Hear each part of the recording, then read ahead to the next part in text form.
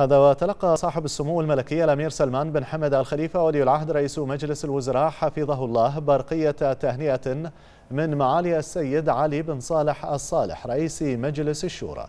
وذلك بمناسبة صدور الأمر الملكي السامي بفض دور الانعقاد السنوي العادي الثالث من الفصل التشريعي الخامس.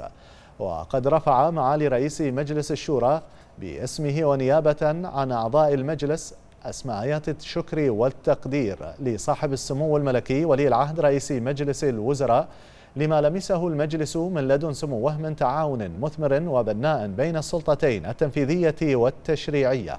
عكس توجهات سموه المخلصة للارتقاء بالوطن الغالي والنهوض به في كافة المجالات بما يلبي طموحات شعب هذا الوطن المعطاء.